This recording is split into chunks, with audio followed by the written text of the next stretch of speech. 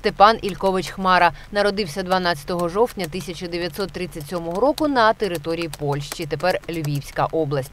Середній з трьох братів у родині селян. Закінчив Львівський медичний інститут за фахом лікар-стоматолог. Біографію Хмари годі переказувати. Політв'язень, дисидент, правозахисник, народний депутат, герой України.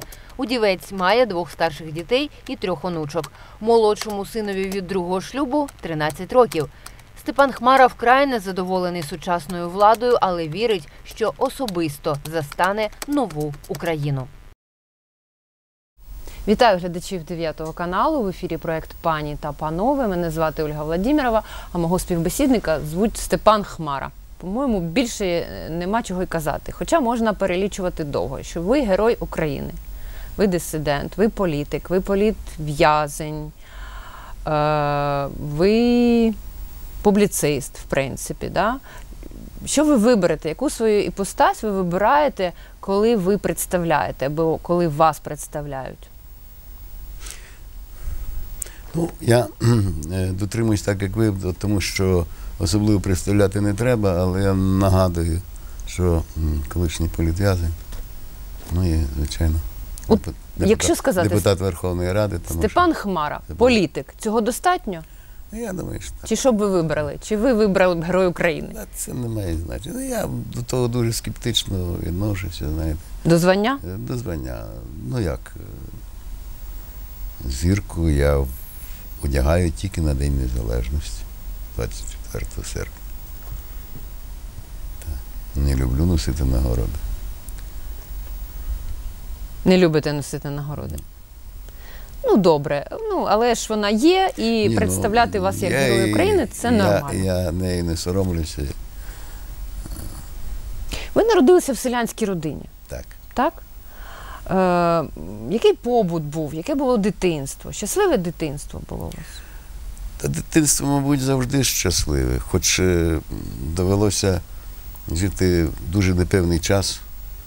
Народився перед незадовго до війни, потім війна, потім після воєнне пекло.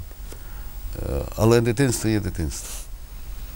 Це щаслива пора, але ну, моєго покоління, зокрема в мене, е, воно було таке, знаєте, напівдоросле.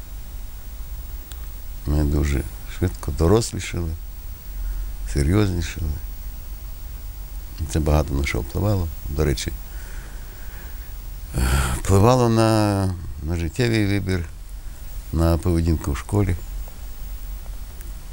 ну, мотивацію до навчання, доброго навчання.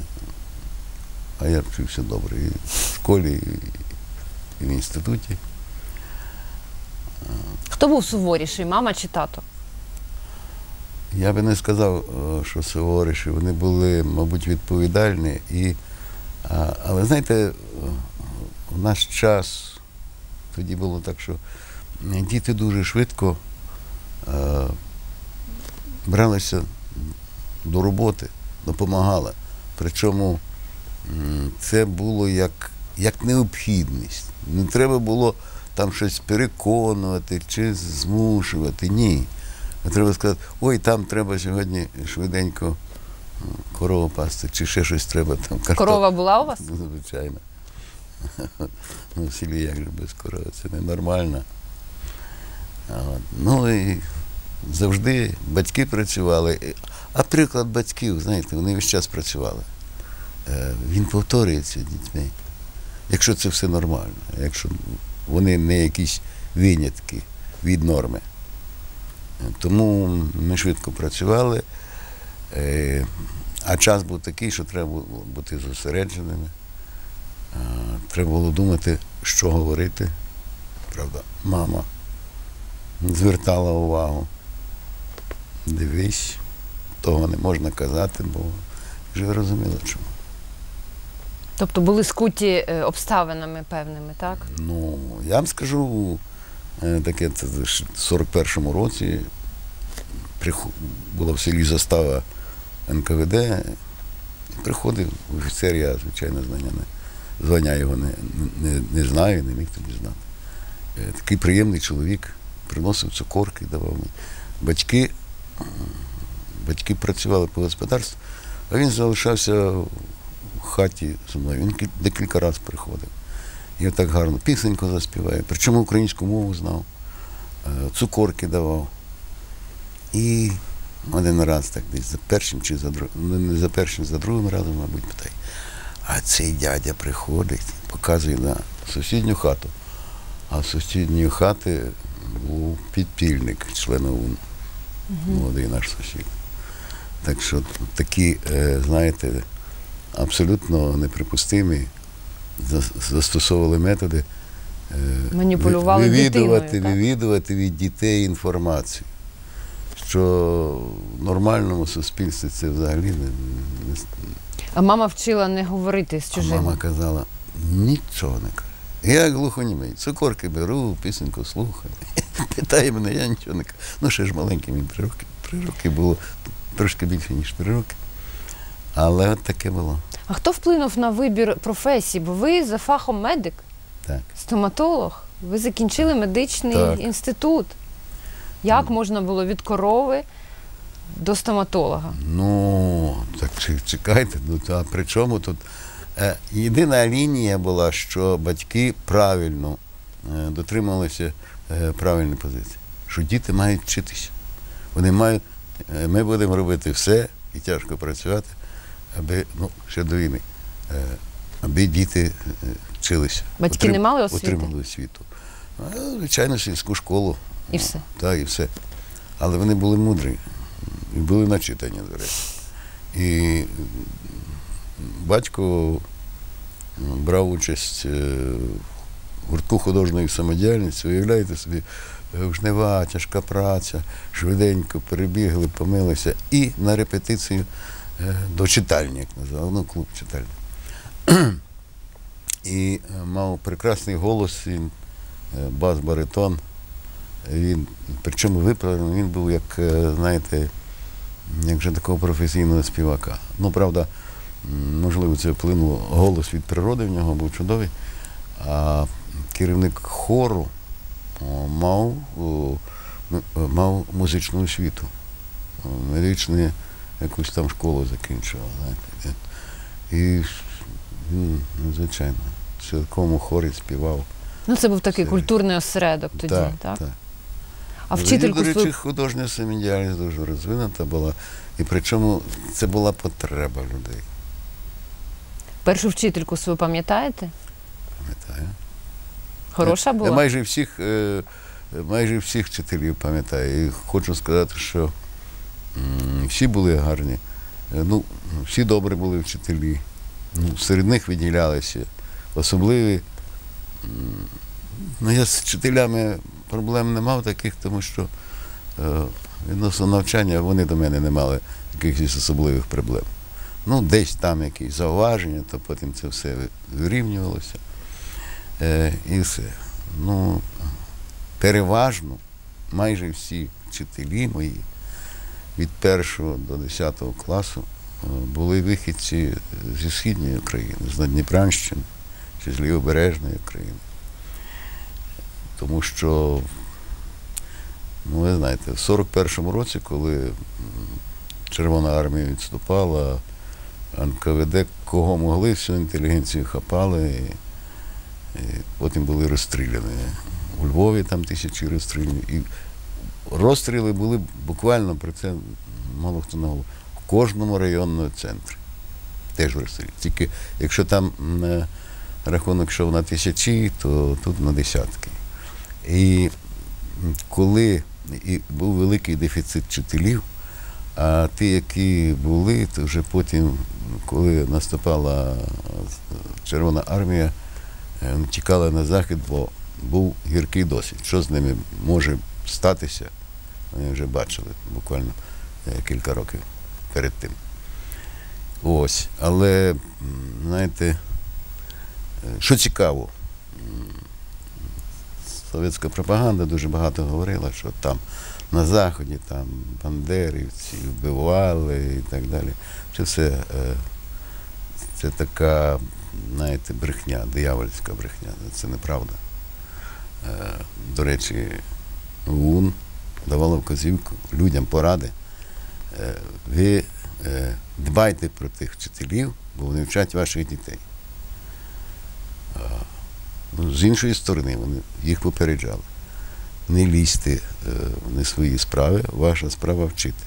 Не дай Бог доносити, кого будете знати про партизани, підпільників чи так далі. Це не ваша справа, і щоб не було неприємностей. І фактично всі вчителі були на утриманні з сільської громади. Е, Тому що вони, ну що заро... вчитель міг заробити там тоді на, на ту зарплату, мабуть, булку хліба е, на місяць. Підгодовували, Ні- мабуть, так? Годували, просто Годували? утримували. І безкоштовне житло, ну, на квартирах вони жили. Е, І харчувалися все. Ну, не на одну сім'ю, там, де вони жили, а е, приносили їм сусіди інші, розумієте, там. І вони не, як кажуть, не мали проблем з харчуванням. Тому що тоді ще колективізація, особливо коли не було колективізації, ну, ну, до 47-го року. Ну, потім вже і легше вчителям, вже і зарплата трохи була інакше, е, краща і так далі.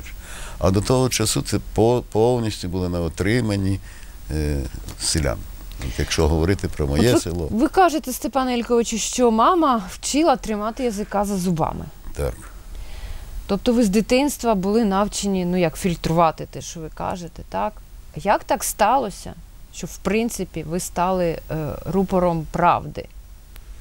Ну, Тобто- а, Тобто знаєте, ви оцю оцей корок Ні, так з це- себе відірвали? Так, так ці застереження не тому, що м, про речі, які може йти мова, батьки чи мама ставилися негативно. Ні.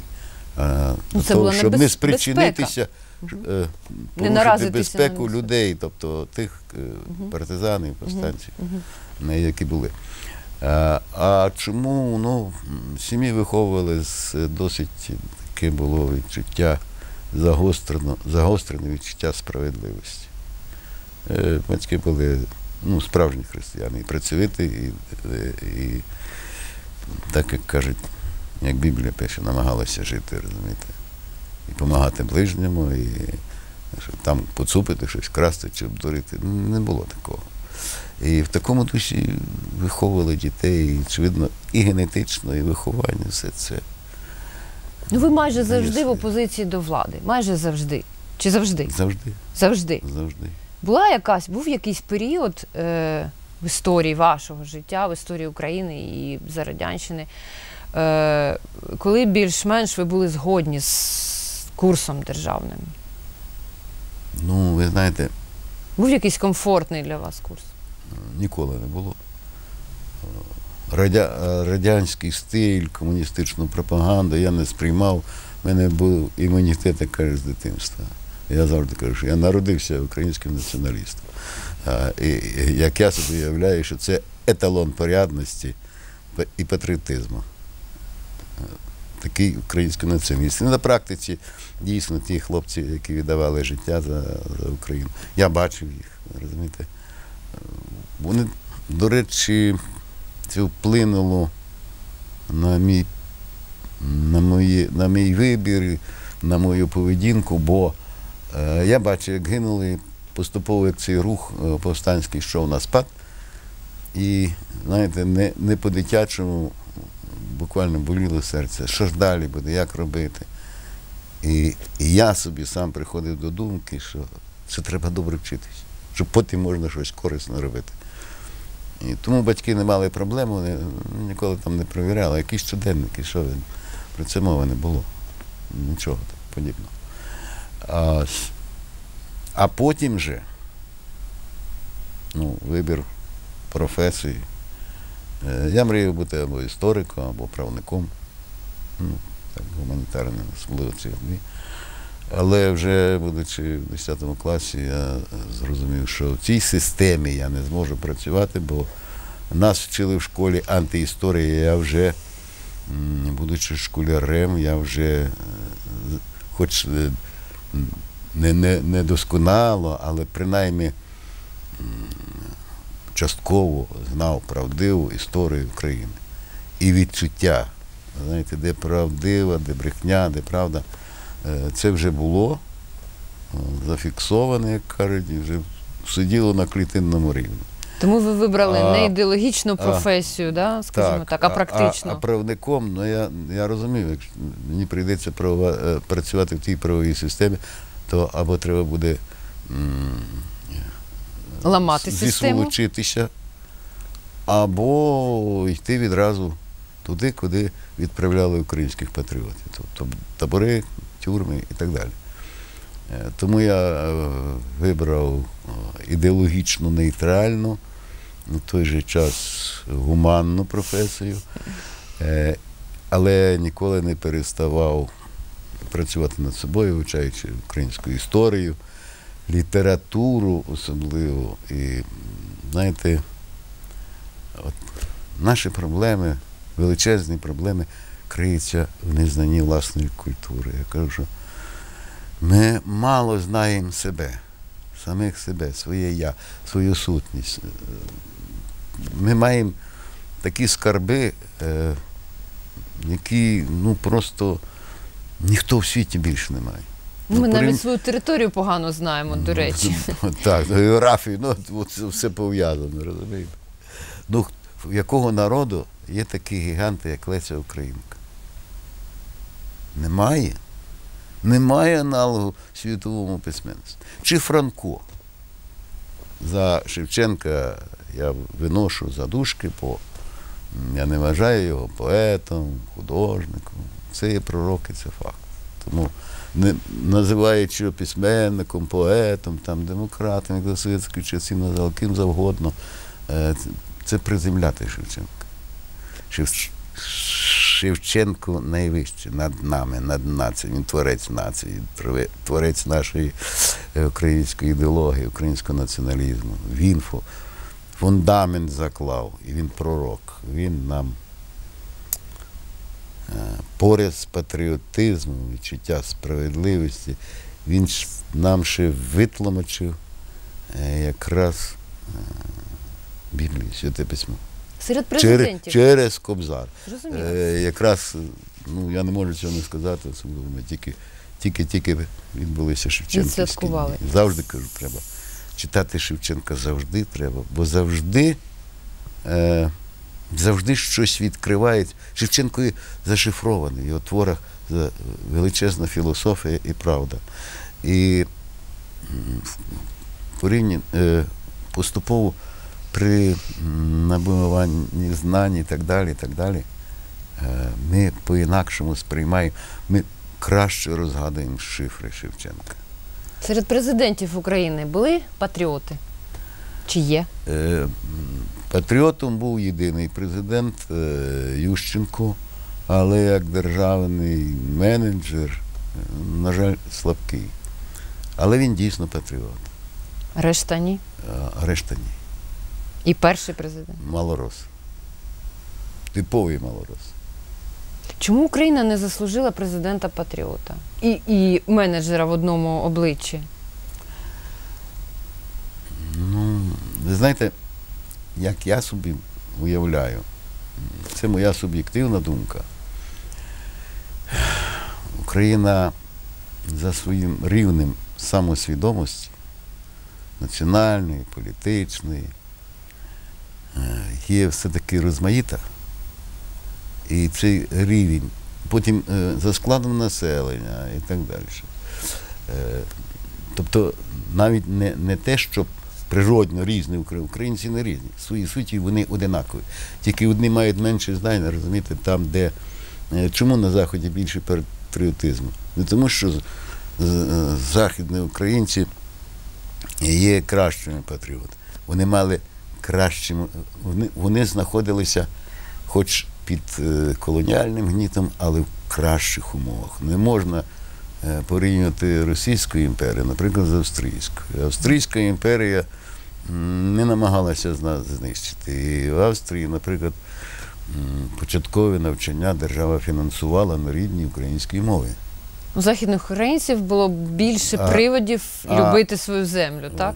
Ну, ну звичайно, не було цензури. Е, Розумієте, видавалася література, е, наприклад, у Львові видавалася е, література е, нашим е, братами з Надніпра, з центральної України, які писали тут, а видавали там. Розумієте, таке йшло взаємообмін і збагачення. Якщо змушений був Грушевський покидати е, Київ, то він е, приїхав в Галичину і викладав в університеті і очолював науково е, Шевченківське товариство. Е, і так далі. І це, це, це не один приклад.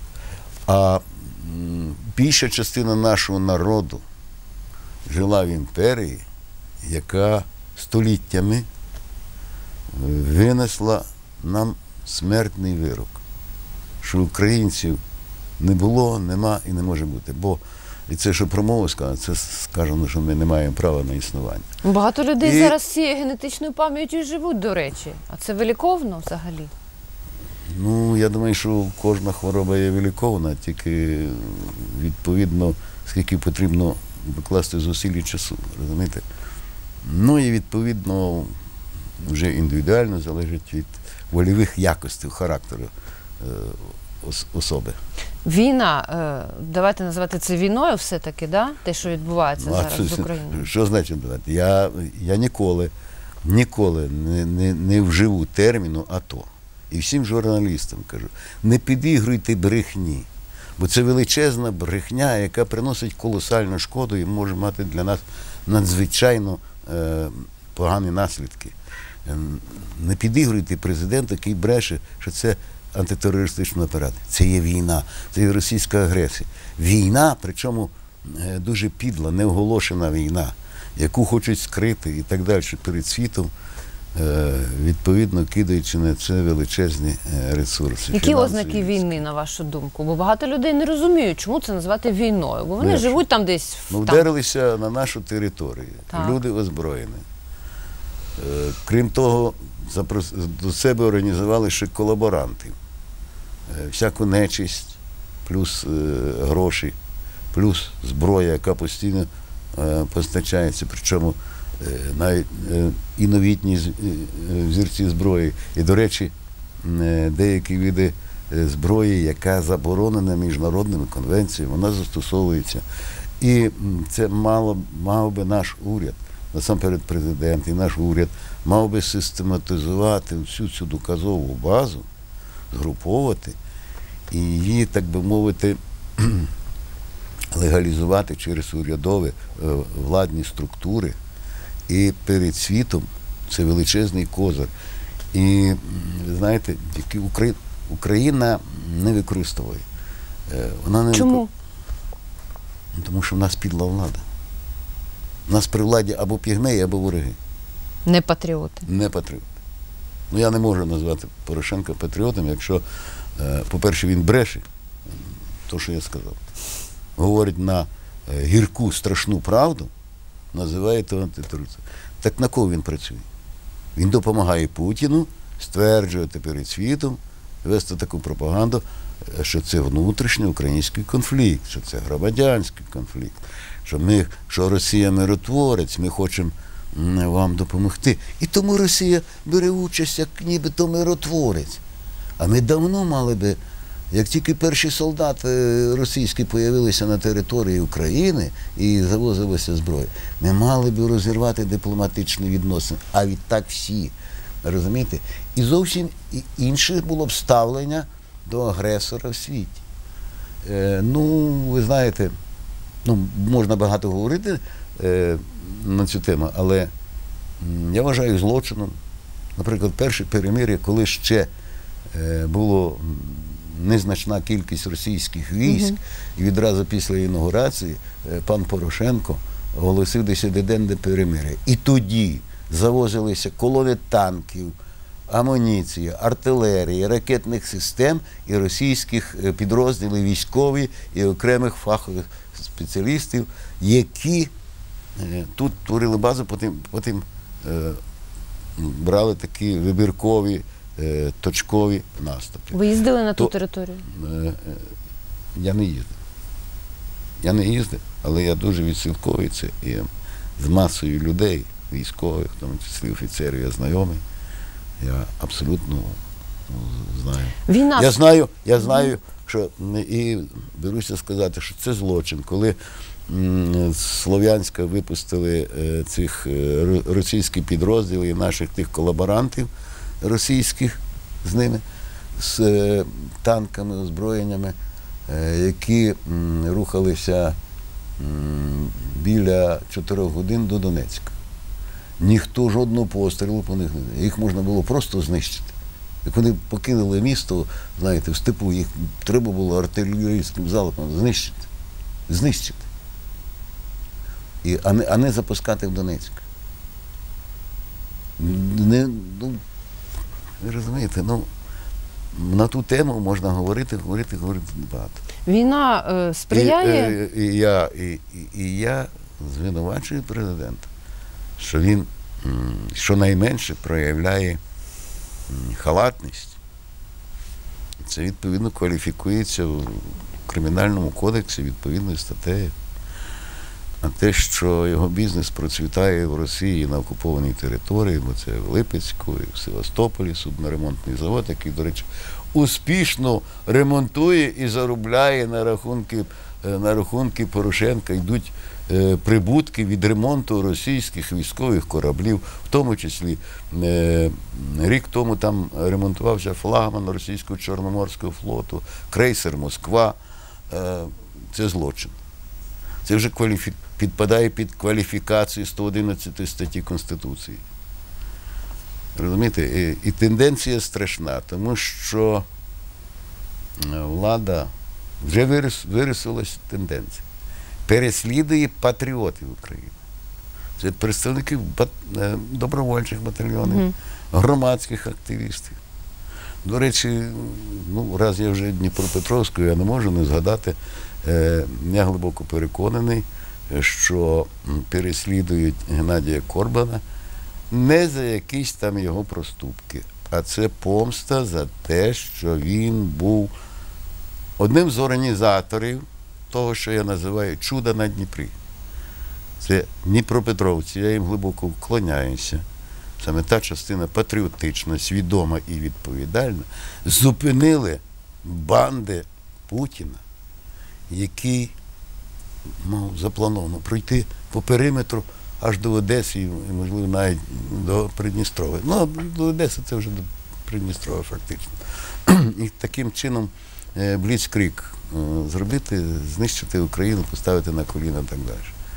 Е, Ви тут, Дніпропетровськ, показали, що він не пройшов. І це ще раз підкреслює єдність українського патріотичного національного духу.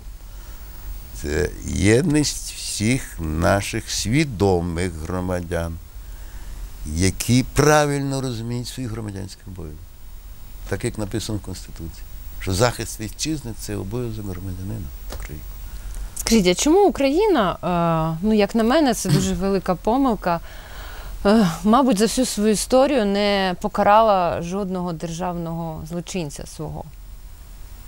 Чому ми всіх так прощаємо, любимо, відпускаємо? От мені кажуть, а як же Лазаренко? Він же ж там сидів. Я кажу, так, але він доволі комфортно, е, наскільки ми розуміємо, так е, відбував це покарання. І Ну, все. Я і би не сказав, арешт? я би не сказав, що дуже комфортно. Ну, може, не дуже. Під ну. арештом для такої людини, яка вибилася на такий рівень політичний, такий великий державі, Це, як це Україна. приниження. І сидіти, звичайно, це приниження, це обмеження свободи, а обмеження свободи це вже Це найгірше. плюс, плюс е, обмеження користуватися тими фінансовими ресурсами, які він е, неправедними шляхами, очевидно, часто е, набував. От, я не знаю, скільки там їх, але очевидно, це не дрібні гроші, це грубі гроші.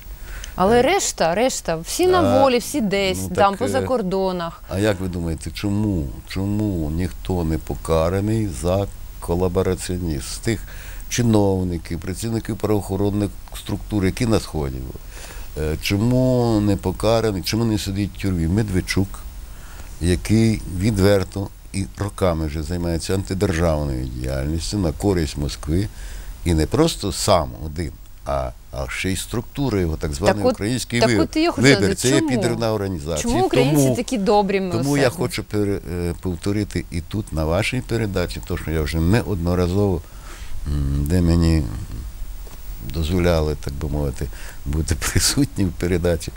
Е, Ще раз хочу заявити. Я, я вважаю, що в Україні немає справжньої служби безпеки України, поки не заарештовані такі персонажі, як Медведчук, Єфремов, Олександр Вілков, е, Сергій Льовочкін, е, Борис е, Колєсніков. Це державні зрадники. А проти них навіть нікого, навіть Єфрема, коли там розігрували комбінації, що ніби його переслідували, не за державну зраду, а просто за якісь там фінансові махінації. Розумієте? Тобто, я вважаю, що тут є домовленість. І, і чому вони прийшли е, до парламенту? Свій час Путін сказав, що задовго до виборів до парламенту, а в українському парламенті, Верховний, чи в Верховній Раді, як він там вже сказав, дослівно точно не знаю, э, будет очень серьезная пророссийская фракция. Так воно є. Опозиційний блок це абсолютно колаборантська фракція. Але ж цьому ж кінця краю не видно. Як Ну, покласти край цьому? А прийдеться Порошенку відповідати. Якщо він далі буде так поводитись, то його чекає імпічмент і кримінальна відповідальність за державну зраду, за бездіяльність, за, і за то-то, то-то, то. За небажання виконати свої функції президента, які прописані е, в 106 е, статті Конституції, і 102, і 106, і в законі про державну безпеку, ну ці, ці ряд інших. Він не робить то. Він, а тим більше він привласнює собі невластиві функції. Він повністю підіймав під себе парламент, що він не має права робити. Він вмішується в структури виконавчої влади, тому він не має права робити. Його, його функції чітко прописані. Я вже сказав, де. Але він їх не виконує, навпаки. Розумієте? Він намагається узурпувати владу. Якщо далі буде таким шляхом йти, погано він закінчить. Він гірше, ніж Янукович. Вони знають, що він тече. Думаю, що ми йому не дамо. Ну, поки що його облишимо. Як Ну, сказав... ну, а це треба, бо це перша особа, від якої залежить. Він давно мав би указ е, видати е, про розрив дипломатичних відносин, не сказати речі свої імена. Росія є агресор. Так, для пропаганди, для піару він каже агресор, Росія агресор на публіці, але офіційно ні. Е, в Україні два роки тому, майже, майже півтора року, заявляв, що Україна веде громадян, е, веде е, е, е, цю вітчизняну війну. Ну, ви розумієте, ну так говорити одне, а робити зовсім інше, е, сприяти ворогу своїми, е, так би мовити, е, доходами, з яких він платить податки, і ремонтуючи російську військову техніку. Я це розцінював по-своєму, принаймні як політик. Юри... Справа юристів все це відшліфувати, довести до кінця. Цей процес іде. І вже програв суд Порошенко за визнання за бездіяльність, тому що він досі е, не подав на звільнення е, Центральної виборчої комісії, термін якої вже майже два роки е, прострочений. Розумієте? Ну і ціла ряд інших речей. Можна говорити тут окрему передачу розділити на кілька і це все проаналізувати. Тому що я відслідковую кожен крок і так далі. Е, от буквально позавчора я від'їжджаючи до вас, чую, президент каже, ми за останні, я цитую дослівно, е, ми за останні дні е, зробили все можливе, е, щоб звільнити Надію Савченко. Бреше. Україна, крім ля-ля-ля, нічого не зробила. А якби вдарила, наприклад, по економії, а що мало б зробити? В першу чергу це дипломатичні відносини, які зобов'язують е, робити подальші кроки. Це націоналізація всього майна і фінансів Російської держави на території України. Це арешт е, майна активів російських громадян на території України, приватних. Тут, тут є різниця, треба розбирати, хто працює там на оборону російську, теж конфіскувати і так далі. Е, заблокувати, заблокувати розумієте, транзит через Україну з України. Як тільки навіть заблокувати це е, е, вантажні перевезення, це колосальний був би удар по, по Росії. Пам'ятаєте, як вони звили, коли Мгм. наші активісти перекривали? Ну так. Якби, ви розумієте, Крим теж блокували хто? Активісти. Е, до речі, один з них, один з організаторів е, е, Станіслав Краснов побитий і зараз знаходиться під вартою. Розумієте? Я, до речі, теж один з тих, хто його бере на поруки. Тому що я знаю, це патріот. І ті, хто його переслідує, це злочинці. Вони злочинці. І ті, хто побили його, це злочинці. Розумієте? І ми маємо говорити, ми маємо говорити правду. Тільки правда нас дійсно нас зробить вільними. Ну, Ви зараз не боїтеся за ту правду, яку ви говорите. Вам А не я- погрожують, ви не боїтеся за свою ніколи родину. ну я знаю, що Хай ви ніколи. Ваша бояться. історія особиста підтверджує, що Хай ви ніколи нічого не боялися. Я- Але є близькі люди, є я син. не є наївна людина, я розумію, е, що все може бути. Я не хочу говорити ще, знаєте, щоб не наговорити.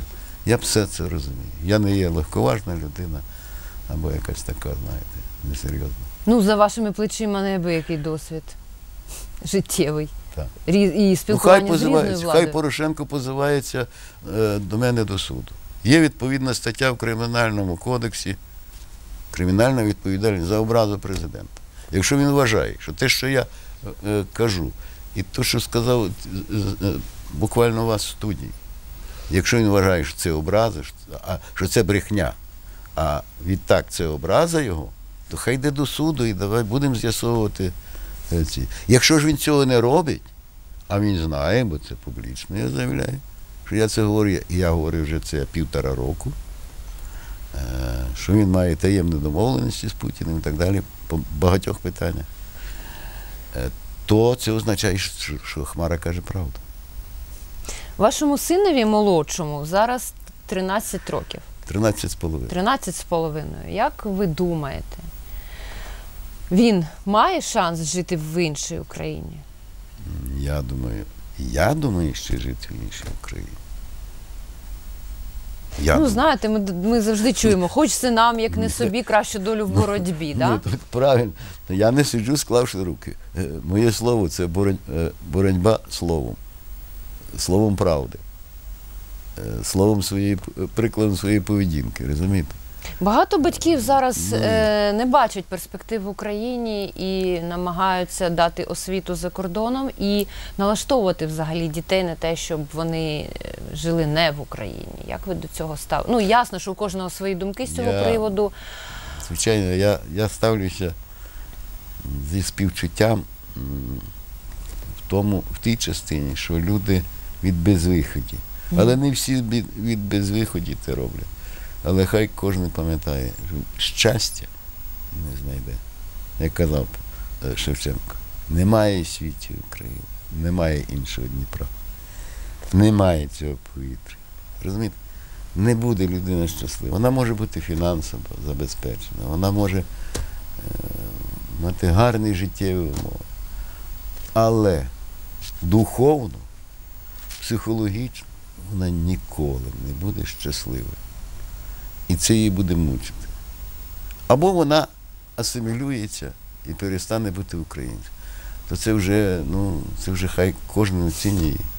Треба бути чином. готовим, бути нещасливим. Ви щаслива людина? Я людина щаслива тим, що я дожив до свого віку, то що мене не знищили, хоча могли багато разів знищити. То, що я ще можу думати і, і намагатися свої думки, свій досвід передавати іншим, особливо людям молодшим. Кого із однодумців, яких немає вже в земному житті, вам не вистачає? Є такі Є, люди, з ким би ви поспілкувалися? б? є. Хто це? З українських патріотів З українських. це Ірина Калинець. Це була не тільки прекрасна поетеса, публіцист. Останніми роками е, вона займалася етногенезом, там, етнологією. Це ще була надзвичайно мужня патріотка, харизматична особа. Ем, Можу привести один приклад. Коли була студентська голодівка в 90-му році, один з вечорів ми е, нам дозволили зустрітися з е, трудовим колективом заводу Арсенал. Величезний завод військово-промислового комплексу.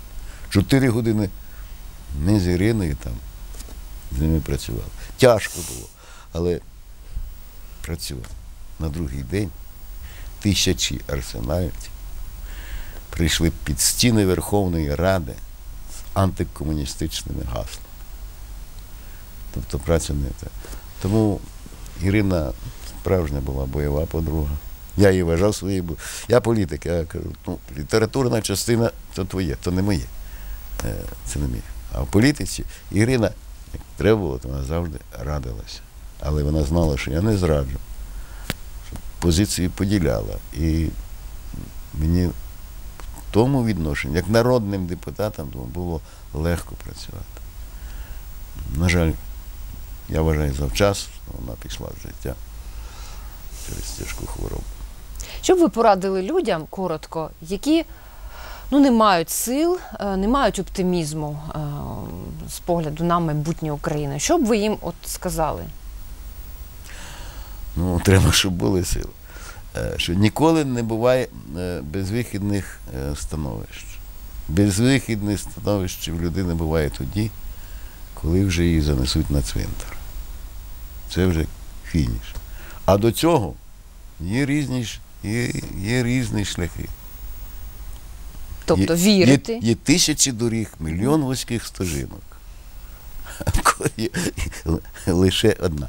Е, Тобто, це Василь Симоненко так, Так. нас вчив. Я знаю. От. І щоб треба і до Бога звернутися, і до Шевченка звернутися. Ну, до Шевченка ми маємо кожний день.